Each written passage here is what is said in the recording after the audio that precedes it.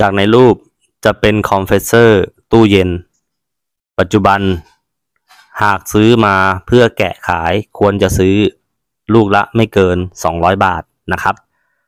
ถ้าแกะมาแล้วจะได้เป็นทองแดงลูกละ 8 ขีด